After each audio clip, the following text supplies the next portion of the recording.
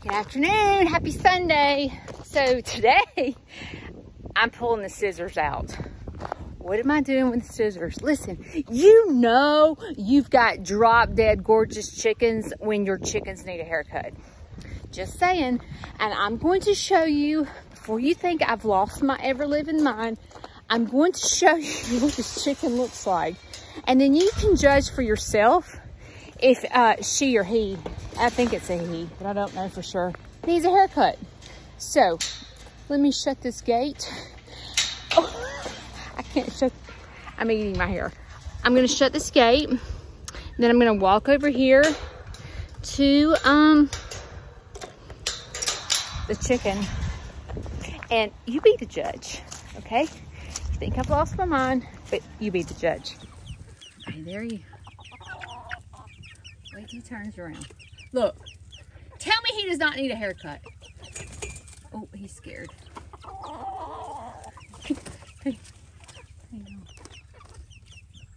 See? Okay, so stay tuned. I'm probably going to get the you know what kicked out of me um, with uh, my rooster over here because he does not like me, to, him. He doesn't like me to touch anybody, but me and him are fixing to get into a serious fight. So stay tuned. So I just got the crap beat out of me by the rooster. Okay, look, look. See, he needs a haircut. See, I don't think that I've lost my ever living mind, but he can't even see. So, okay, so. Welcome to the beauty shop. What kind of do would you like? Uh, would you like a little layer in the front? Would you like some bangs? Like, what would you like, sir? Okay, look. We're gonna cut. You just be real still. Be still so I can make sure I cut these straight. Okay? Oh my goodness, I can see your beautiful eyes. Hang on. We're gonna cut it a little bit shorter. Hang on. Mama's gonna take care. Oh, Lord.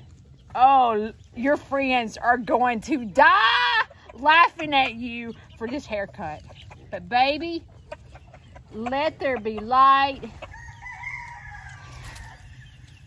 Are you ready to see? Look, listen, this is a mother haircut, okay? I'm sorry. It's the best we could do. I wasn't about to hire somebody to come out here and cut his hair. Okay, look.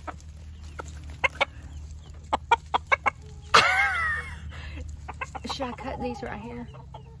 Let's see. Let me see. Oh my gosh, she's so cute. Look at him. Hang on. your mommy's sorry.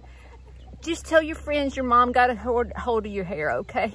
I'm so sorry. I love you.